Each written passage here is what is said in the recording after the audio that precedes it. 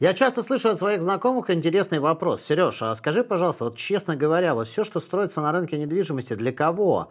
Для кого так размахиваются застройщики, для кого вся эта реновация, кто это будет все покупать? Застройщики рапортуют, что миллионы квадратных метров будут сдаваться ежегодно. Для кого вся эта недвижимость? Мы сегодня будем с вами говорить о пугающем будущем рынка недвижимости, о том, что нас ждет через 5-7 лет. И это принципиально очень важная история. Почему? Потому что нужно осознать одну очень простую вещь. То, что нас ждет в будущем, никак не повторяет прошлое. То есть оно будет в каком-то виде повторять, наверное, какие-то тенденции, потому что люди, по большому счету, а, не меняют меняются, но с другой стороны, как сформируются новые потребности, что будет, если мы понимаем, что идет убыль населения в России, пока этот а, тренд перебороть невозможно. А как будут вести себя жители больших городов, куда они будут исходить, что будут делать застройщики с тем а, избытком недвижимости в той же Москве, опять же, с теми размахами, которые они сейчас а, набрали. И что ждет? То же самое реновация, что ждет? Старые районы, об этом мы сегодня в ролике и поговорим. Но прежде чем мы к этому перейдем, надо вспомнить, что YouTube э, стал работать с историей Прибалтики, то есть немножко подтормаживать э, при загрузке. И поэтому, мои дорогие подписчики, я вам все-таки предлагаю в избежании перепогрузки и остановки YouTube, подписаться на мой телеграм-канал и собраться там, если вдруг что. Вот телеграм-канал, поехали. На последнем заседании Центральный банк повысил ключевую ставку. Это значит, что инфляция ускорилась, а инфляционные ожидания населения продолжают расти. Именно в такие моменты важно инвестировать накопления, если, конечно, они у вас есть чтобы они не сгорали в огне инфляции. Поэтому давайте-ка я расскажу, как я инвестирую свои деньги. У меня есть большой консервативный портфель, а часть своих денег я направил на краудлендинг на платформу JetLand. С марта я ежемесячно пополняю портфель на JetLand.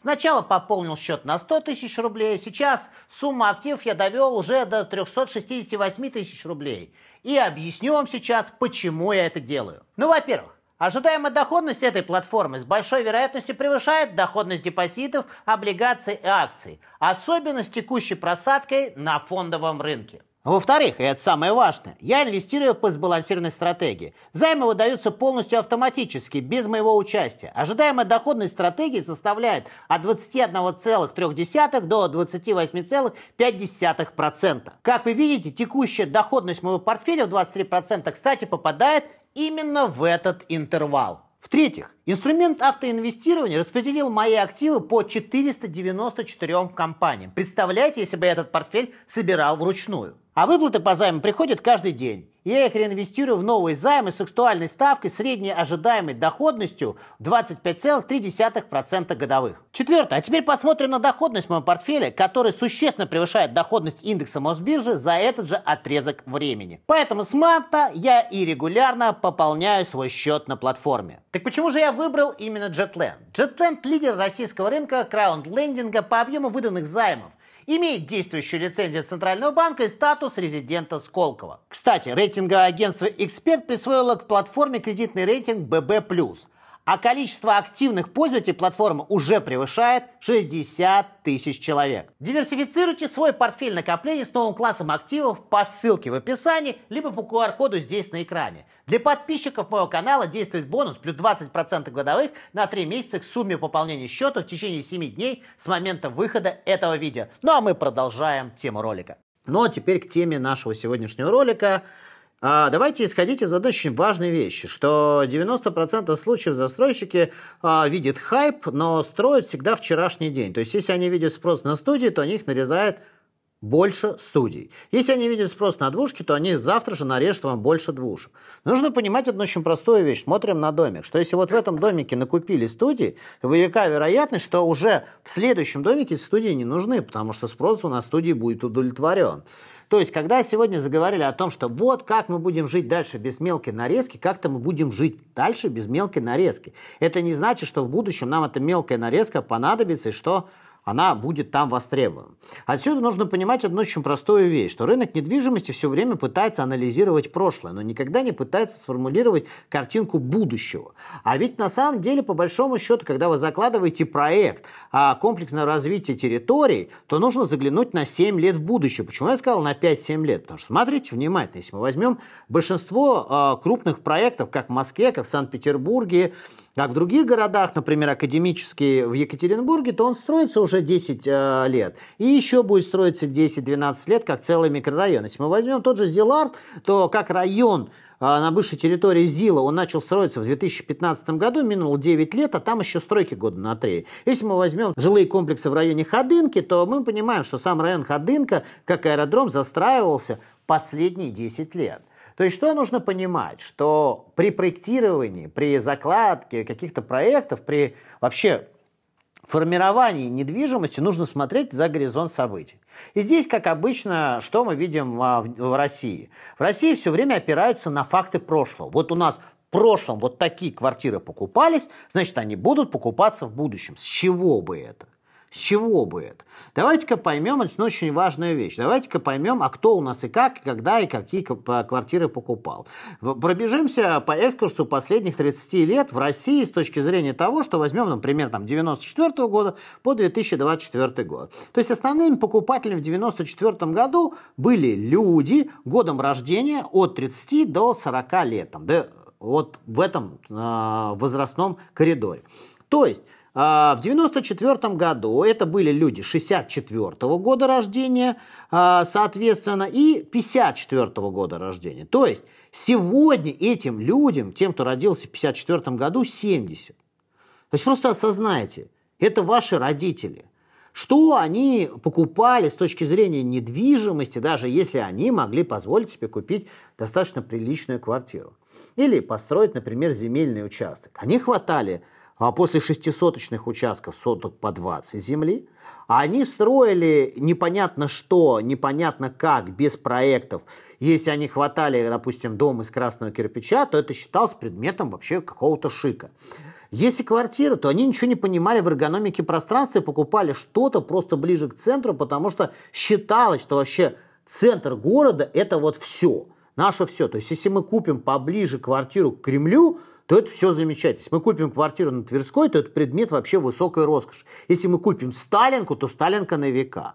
То есть потребительские предпочтения людей воз, э, год, годов рождения 54-64 сильно будет отличаться уже от потребительских предпочтений, например, людей моих ровесников. То есть в 51 году родилась моя мама, то есть мы можем представить, что моя мама на меня, например, родила в 25 лет, и по большому счету она могла бы быть 54 года рождения, родить меня в 22. Но, то есть в 76 году я родился в Москве. И по предпочтению моего поколения, они уже сильно разнятся с тем, что покупала бы моя мама с точки зрения недвижимости. То есть вот мы, как активные покупатели, уже сейчас тоже сходим с рынка. То есть мое поколение достигает 55, 50, там, 50, 50-летнего возраста, 55-летнего возраста и уходит уже с рынка активных покупателей квартир и уходит в рынок активных покупателей частных домов. То есть, чему я вам это все рассказываю? Нужно не смотреть не на то, что строилось в прошлом, а как ведут тебя все поколения, которые будут покупать недвижимость в будущем. То есть нужно посмотреть на поколенческие привычки, на потребителя с точки зрения поколенческих изменений. Что меняется в поведении пока, а, того или иного поколения. То есть самая высокая рождаемость пришла на 76-86 годы. Это последняя самая высокая рождаемость в Советском Союзе. И мы еще жители тех вот хрущевок, пятиэтажек с коврами, вот с этими вот, смотрите, фотографии, вот этих всех классических стенки и все остальное. И первое, что мы, от чего мы хотели избавиться, это от классической стенки своей квартире. А, мы называли евроремонтом все, что у нас, а, соответственно, без классических вот этих жутких обоечников и всего остального. Мы хотели пластиковые окна, мы хотели современные какие-то решения, но у моего, например, поколения серия P44T, вот эта вот, которая красного кирпичика на экране сейчас, она по большому счету ну, всегда была. И нам казалось, что это верх совершенства. Вот планировка трехкомнатной квартиры в P44, так ты вообще топ. Смотри, какой холл тут большой при входе. То есть, друзья мои, со временем и мое поколение стало понимать, что вот это уже не айс. И мы э, покатались уже, получили возможность опыта жизни за границей, чего не имело по возможности поколения 54-го 64 -го года рождения, посмотреть, как живут люди. Мы уже посмотрели на то, как мучаются а, наши родители, перепродавая это дерьмо, которое они понастроили а, в конце 90-х, начале 2000-х в Подмосковье. И мы на все это дело, посмотрев, понимаем, что, например, 20-соточный участок нам нахрен не нужен, заколебешься косить. А, нам а, нужны другие ценности, другие решения. Нам не нужен дом из кирпича красного, силикатный какой-нибудь, вот этот кирпич, нам он нахрен не нужен. Нам не нужна печка в доме, как нам казалось. Нам нужна уже квартира. Просто нам нужна внутри дома городская квартира, тот, тот, комфорт, к которому я привык. То есть очко э, во дворе меня уже не, не, никак не порадует. А мои родители могли бегать, например, на даче всегда вот, вот это вот а, а, внешний сортир так называемый. То есть поэтому ситуация заключается в том, что а, меняются поколения – и меняются их предпочтения. Так вот, давайте-ка интерполируем и перенесем себя а, сразу в 2028, 29, 30 год. То есть съездим туда вперед на лет 5, а то и, и, и 7. То есть до, э, например, там 31 года. Что мы будем понимать? Мы будем понимать, что на рынке появится покупатель, а, тот, который родился после 98, 99, 2000 годов. И этот покупатель, он а, появился в мире в другом. То есть он э, осознанность свою начинает получать там в 7-10-летнем возрасте. То есть это люди, которые э, стали понимать, как что-то вот о том, что, как устроен мир вокруг, примерно, вы должны понимать, 2005, 2006, 2007 год. То есть вспомните э, Россию 2007-2008 года и так далее. То есть Первое, что они видели, очень важная вещь, что существовала всегда в их понимании ипотека. То есть они уже родились в мире ипотеки, то есть она уже была. То есть если мы, как поколение там, 76-86 года, узнали про это в 2003-2004 году, о продукте как ипотека, то и эти ребята, они родились с идеей ипотеки. Но при этом они видели, какие последствия бывают неприятные, когда их родители набрали ипотеку и мучились ее отдавали, и скандали с друг другом. При этом они видели большое количество бракоразводных процессов и не будут стремиться а, так рано взрослеть. Огромное количество разводов а, в моем поколении. Сам прошел через развод, моя супруга прошла через развод. И мое поколение вообще – это поколение постоянно там двух-трех браков, то это приводит к тому, что дети э, наши, они более инфантильны, то есть они не спешат взрослеть. Они видели все эти чел- э, человеческие новые проблемы с долгами, с выплатами, со всеми погашениями, и они по-другому относятся к деньгам. Что бы вы ни говорили, новое поколение зумеров по-другому будет воспринимать деньги. Они не спешат э, лететь, выбирать себе какую-то однозначную профессию. То есть и здесь очень важный момент. Одна из этих вещей приводит нас к тому, что они будут не спешить так быстро создавать семьи, как мы создавали. То есть количество детей будет сокращаться неминуемо у этого поколения. То есть зумеры не будут стремиться быстро рожать детей. Моим детям 22-23 сейчас – и, соответственно, я могу вам сказать, что старшие дети не говорят о том, что они планируют в ближайшее время заводить детей.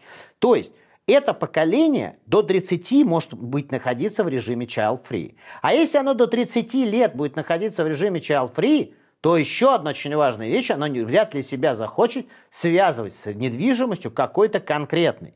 То есть оно будет все больше и больше арендовать. И мы увидим большой-большой тренд. А что оно захочет арендовать? А арендовать оно вряд ли захочет квартиру с бабушкиным ковром, с вот этой странной мебелью и за все остальное. То есть всем этим вонючим панелькам и всему остальному, где нет качественного лифта, где вонючий мусоропровод, где сосед Коля курит какую-нибудь жуткую а, сигарету – соответственно, этому хана. То есть новое поколение, оно начнет формировать другие привычки. Ну, например, каливинги. То есть они очень любят проживать в трехкомнатной квартире на троих. То есть формируется понятие такое, как аренда, и долгосрочная аренда, и сервисная аренда. Если мы сейчас с вами посмотрим с точки зрения того, а есть ли такой продукт, как доходный дом, то попробуйте сейчас арендовать квартиру на Дом РФ, хоть какое-нибудь найти приложение в их доходных проектах, или попробуйте в апарт-отеле Анис от компании Монарх в двух корпусах что-нибудь найти свободное. Ни хрена вы не найдете.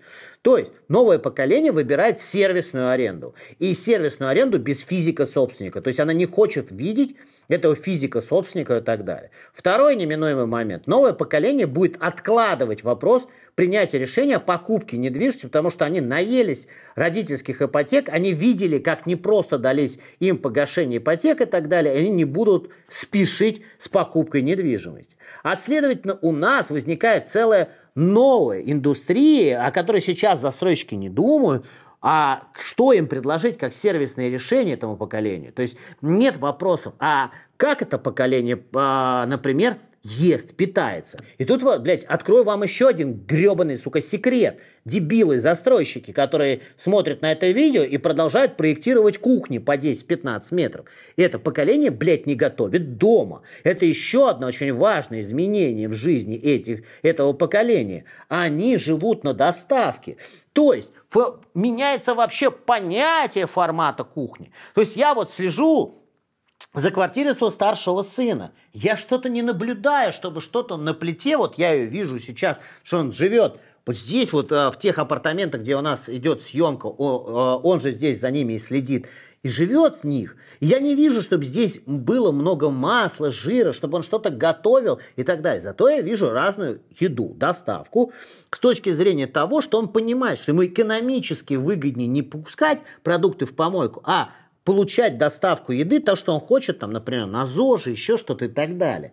То есть еще одна очень важная вещь, которая формирует пространство дома, меняется. Меняется понятие кухни. Это мы с вами собирались на кухне, чтобы по поиграть на гитаре. Наши дети там спали в спальне у нас. Мы так делали, тише, тише, не орите, закрывались на кухне и собирались. Это поколение плевало, блядь, на кухню. Оно не будет собираться на этой кухонной зоне. И это еще одно очень важное изменение, сука, наверное, открытие для большинства застройщиков, если они посмотрят за поведением поколения, которое идет на рынок недвижимости. То есть, вот вам еще одно изменение. Следующее, самое большое тектоническое измерение, это то, что все больше и больше даже моих ровесников и чуть младше меня ребят, а я дружу с ребятами, там, соответственно, там, 86-го года рождения, 88-го, там, 90-го, у меня полно в окружении таких ребят – они выбирают для своих детей онлайн систему образования, потому что они хотят быть свободны от детских каникул, от этой срани под названием школа, от буллинга. Они хотят сами заниматься образованием своих детей, контролируя, что их ребенок учит. А следовательно, в таком случае у нас отвязывается еще одна очень важная вещь. Кому вы нахуй строите все эти здания школ, которые вас обязуют, конечно, строить город, но в дальнейшем количество учеников, ходящих вон в классическую офлайн школу будет сокращаться. Нахуй вы это строите? Следующая очень важная вещь. Как только меня меня отвязывают в локации от школы, значит, я, блядь, не привязан больше к этой локации, могу перемещаться более свободно. И у меня полно сверстников, живущих со мной в том апартаментном проекте, который есть, которые полгода проводят на Бали, потому что их ребенок учится в онлайне. То есть поколение новое, оно становится более мобильное, и это мы не закладываем. Третья очень важная вещь. А, это поколение не, не, не страдает херней под названием «купить себе гробовую мебель». Они хотят гардеробные комнаты, а где они заложены в проект? То есть им достаточно было гардеробных комнат и вешалок, чтобы повесить свои вещи. Но гардеробные комнаты как класс, блядь, не закладываются нигде. То есть этих гардеробных комнат невозможно найти в нормальных проектах. Вы все продолжаете расставлять корпусную мебель, долбоебы. Она не нужна этому поколению. Следующая очень важная вещь, которая более ценна для этого поколения, это а, то, что многие из них работают из дома. И, например, я не вижу на ваших планировках и на планировках застройщиков это то, что вы не закладываете, например, рабочий кабинет. То есть это э, семейная пара может жить в двухкомнатной квартире, потому что им нужен рабочий кабинет, потому что они поочередно остаются дома и работают из дома. А вам это в голову не приходит. Вы не смотрите на активность этого поколения. А, например, сейчас для вас откроется информация очень интересная. Это поколение меньше бухает, чем, например, поколение 76-86 года. А это значит, что определенные а, комиссии коммерческие помещения, они просто начнут э, падать. При этом, на самом деле, если это поколение и не бухает, то оно, например, выбирает определенный ЗОЖ, что, опять же, в, а, в том же а, проекте закладывает другие изменения. То есть, что мы с вами понимаем? Мы с вами понимаем, что это поколение шеринговое. То есть оно сейчас спокойно катается на шеринговых машинах, а, и не стремится быстро покупать машину. Это поколение спокойно арендует э, велосипеды и самокаты и не собирается покупать себе свой велосипед и самокат. Они пользуются этим шерингом и привыкли. И это шеринговое поколение спокойно будет арендовать сервисные варианты объектов. Оно не будет себя привязывать к одному месту и будет достаточно мобильно перемещаться. Это поколение будет э, обладать другими привычками, другими, абсолютно другими. То есть отсюда очень важный нюанс, заключающийся в том, а где то формирование а, современного пространства с пониманием потребностей этого поколения. А его нет. А вообще нет. Застройщики херачат все то, что они херачили 20 лет назад. Ну, просто вид сбоку. То есть сегодня не учитывается эргономика пространства, сегодня не формируется новый а, вызов тому, что по большому счету вас ожидает. То есть вы вызовы не слышите совершенно. То есть вы проектируете все, сука, вчерашний день, который не нужен по большому счету. То есть вы не формируете пространство для общения людей и не понимаете зоны каливинга, вы не, не делаете достаточное количество ресторанных зон, вы продолжаете мелкую нарезку коммерческой недвижимости, вы не формируете, опять же, удобные инструменты доставки. Доставщики катаются в тех же лифтах, в которых катаются а, жители дома. А, например, лифт под доставщиков, это будет must-have в ближайшие годы в проектах. То есть специальный лифт, со специальным охранником для доставки продуктов. То есть вы не формируете эту зону доставки, вы не формируете зоны под боксы для доставки, что в каждом проекте у застройщика должен быть свой бокс для доставок, потому что доставка сегодня становится инструментом удобным. Вы не понимаете, что дальше мы увидим с вами, с вами доставку дронами. Вы не понимаете, что мы увидим с вами определенные решения с точки зрения электромобилей. Вы вообще на это направление не смотрите. А между тем у нас нарастет количество потребляемых электромашин. Вы не обращаете внимания на то, что это поколение выбирает все делать с помощью профессионалов. То есть это поколение не умеет сами клеить обои. Я, блядь, клеил обои. А, мои друзья клеили обои. Но мои дети, блядь, не знают, как клеить обои. Они не знают, блядь, даже, что такое вообще мастерок, блядь. Это значит, что они будут покупать квартиры с отделкой, а вы все время хуячите бетон, долбоебы. То есть мы с вами должны понимать, что поколение через 5-7 лет не будет знать, как купить обои в магазине.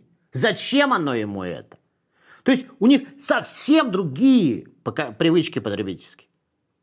Они все получают готовое. И мы должны к этому перестраиваться. Но то будущее, которое готовят нам застройщики, это долбоебизм, блядь, 20 э, э, века, конца 20 века. То есть вообще нет понимания, что будет. Вообще нет ориентиров, что будет.